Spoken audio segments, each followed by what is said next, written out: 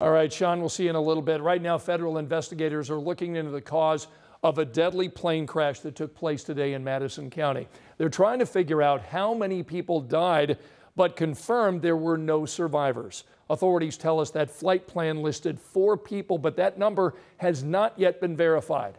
That small plane was headed from Iowa to the Anderson Municipal Airport. Investigators tell us the plane was too high as it flew into the airport, so it circled around again.